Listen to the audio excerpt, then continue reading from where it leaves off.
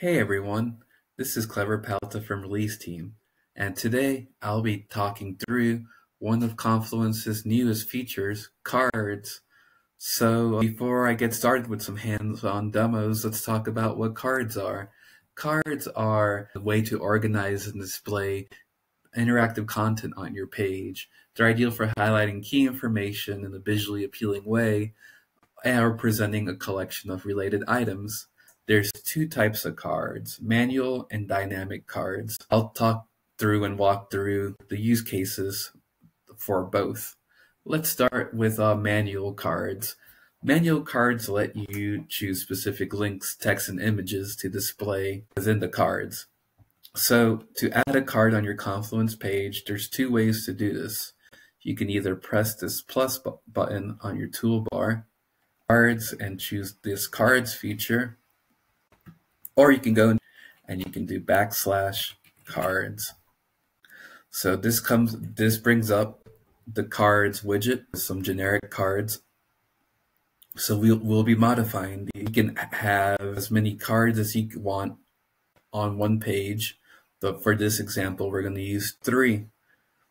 Personally, I think best practices for a card display is to leave them as stacked. A lot of users won't have the patience or see the little arrows that show up on the side of the cards whenever you have more than three or four that appear in the screen at the same time. So I have found it best to choose the stacked option as your display. Uh, we're going to align these center. And I want to create some Confluence cards that highlight some of the external links that we have that we use in ReleaseTEAM within our company. So for this first card, I'm going to link to our homepage. So I'm going to paste my homepage link onto here. And as you can see, Confluence Cards has automatically changed the image thumbnail to one that was pulled from the website.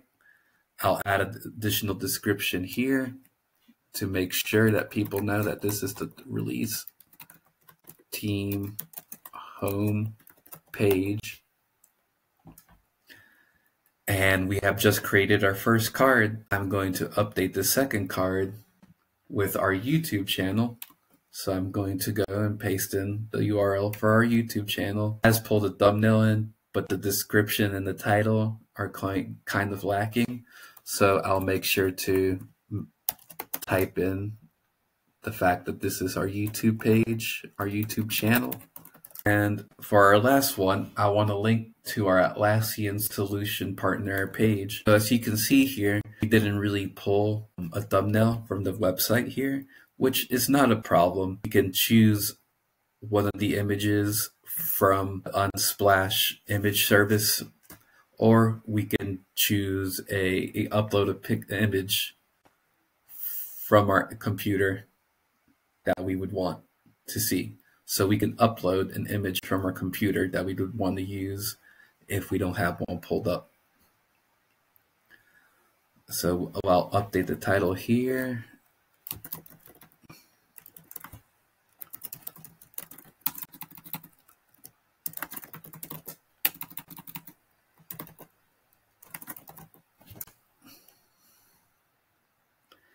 And we have created a static card. So for me, the best use cases for static cards are internal or external links that won't change too much. Let's say you want to create more of a dashboard view with dynamic content generated from your Confluence page. For example, let's say I'm a supervisor or some type of manager within my team, and I want to see all the updates that my team members have been making to certain pages or to our blogs. So let's create a few examples from that for that. So I'm going to click on plus, type in cards, and I'll click on this edit button here. I will scroll up and pick the dynamic feature. And then we'll build a dynamic card we're now presented with this screen that has a few drop downs where we can create our own filters to auto dynamically generate the content that's displayed on the card. So I'm going to click on owner and then click myself and I'll make sure to only click on I just want to see pages or blogs that were updated in the past 30 days. So I can click on confirm here. I've confirmed my filters and I've automatically created a dynamic card on my page. I want to display a few more cards here, so I'm going to change my size to small since many of these don't have a thumbnail since they're only Confluence pages with words. And I can increase the amount of cards to like, let's say 10.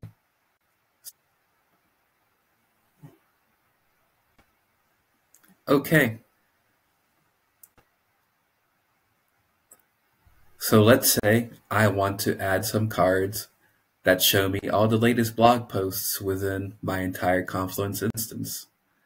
I'll create another set of cards, click on the edit button again, and then I'll go to dynamic. I'll click on the build dynamic cards button, and then I will click on content type. And instead of just doing all, I will click on blog posts. As you can see here, we now have all the latest blog posts we have posted in our instance. So that's some of the better use cases I have seen for cards. I really like it for this management board type of idea. I could really use some headings here, so I'll add some headings just to make the visibility a little better and just so I can add some context on my cards.